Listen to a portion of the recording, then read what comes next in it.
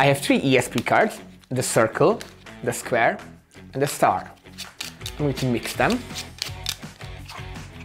And I put a blindfold on.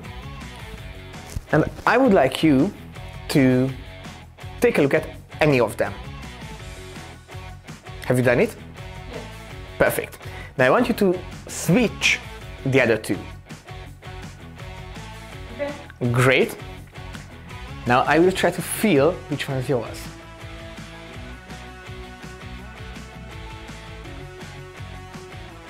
I have a strong feeling that this one was yours.